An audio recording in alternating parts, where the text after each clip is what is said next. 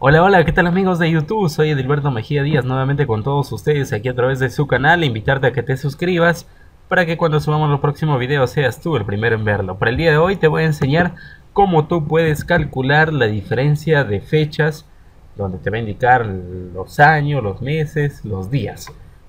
Nos vamos aquí a inicio y vamos a poner calculadora. Mira, la opción de calculadora, estoy en el Windows 10. Aquí nos vamos a calculadora de fecha. Y aquí ponemos, por ejemplo, voy a poner mi fecha de nacimiento. Aquí hacemos clic en los años. Y nos vamos hasta el año 97. Abril 13. Y de ahí vamos a calcular hasta el día de hoy. 9 de julio 2020 y ahí está 23 años, 2 meses, 3 semanas, 5 días, en total 8488 días.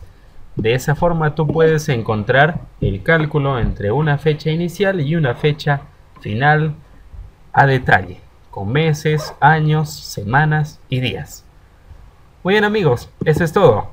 Hasta pronto.